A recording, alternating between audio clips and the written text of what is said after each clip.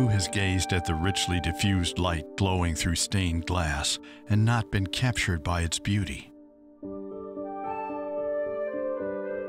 Indeed, who has not wondered, how did they do that?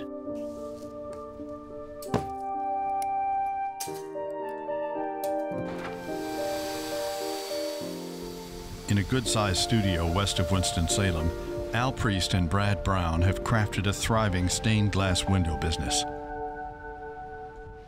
Today, Salem Stained Glass is known far and wide for newly designed windows, repair and restoration of stained glass treasures, and of course the installation of both. The biggest majority of what we do here at Salem Stained Glass is commercial work, um, new church windows. We decide on a theme or an idea for the windows, and then we'll go in and produce the windows do everything from the beginning to the end, turnkey. At the heart of the matter, and a key quality that sets Salem stained glass apart, is the original art from which each window evolves.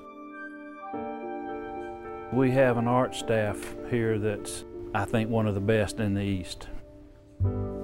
Derek McHouston, our lead artist, has a four-year degree in studio art from Chapel Hill and is just phenomenal. We actually are capable of putting portraits in glass. The window Salem stained glass is delivering today is a geometric design that was best worked out on the computer. Artist Phil Hamby greatly compresses a process that used to be done strictly by hand. A window like this probably take a couple of weeks to draw out by hand. It's so detailed. It's um, the advantages to doing it on a computer aside from time is that you get symmetry. Every one of these diamonds is exactly the same. Every circle is going to be symmetric. And they're going to be spaced perfectly, which is another advantage to doing this versus doing it by hand.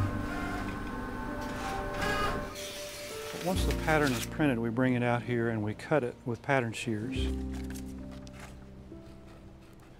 Each individual piece of paper represents what will become a, uh, an individual piece of glass.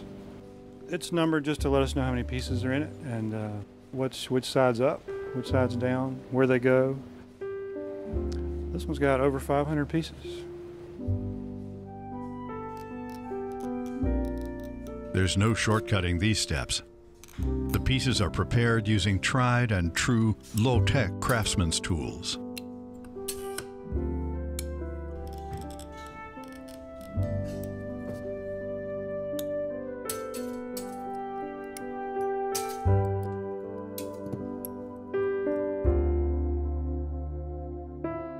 Okay, so now we have over half the glass cut for this panel. And here's the pieces I just cut. Lay them here. These pieces will be painted. This design, rather than letting this, we're going to paint that on there with clear glass with gold paint. This is paint mixed with water. I use this three inch badger brush to badger it on there to try to get it smooth as possible. After it dries, Mary Ann Campbell carefully scrapes away all that is not art, leaving beautiful gold patterns to be included in the window. After everything's cut, we'll uh, lead everything together. There'll be a, uh, a strip of lead channel between every piece of glass. That's called glazing.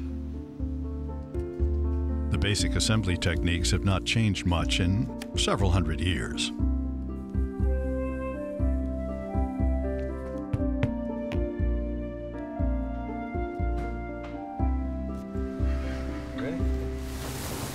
When it comes to turning over a large panel like this church window, it's a delicate process needing two people.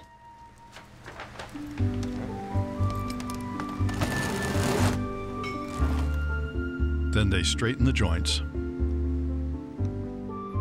apply soldering flux, and finally just a little bit of solder for each joint, one at a time. A final step is puttying to add strength, rigidity, and weatherproofing. And then each joint is polished.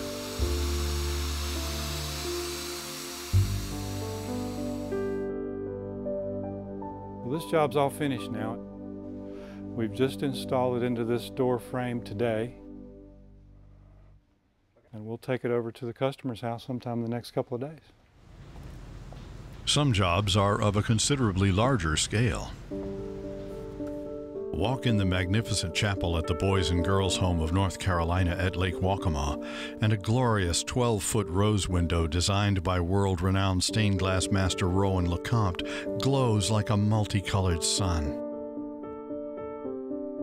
LeCompte designed the intricate work, and Salem fabricated and installed it, which Brad and Al consider a distinct and rare honor.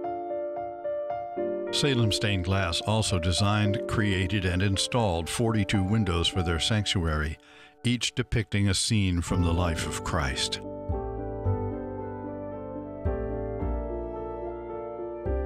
The Pitt County Courthouse in Greenville offered a different challenge.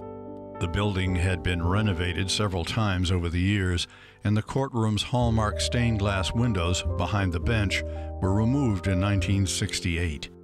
After reading about their work in our state magazine, Superior Court Judge Wilton Russell Duke asked Salem to design new panels. These windows are the centerpiece of the room. This symbol is the Lady of Justice, exactly as she appears on the seal of the North Carolina Supreme Court. This is a great seal of the state of North Carolina, and this is a great seal of the United States. A good portion of Salem's work is restoration. This valuable and well known historic window, called Angel at the Tomb, was created by the Franz Mayer Studio of Munich, Germany in 1911 and originally installed in a Wilmington church. Later, it gathered dust in a storage building before being restored by Salem. The window now is in a private home where it glows with fresh life and of course, small churches contract for stained glass windows too. Some for the first time. The old windows come out of this church in Westfield, and the new ones go in. Soon the congregation sanctuary will be bathed in a whole new light.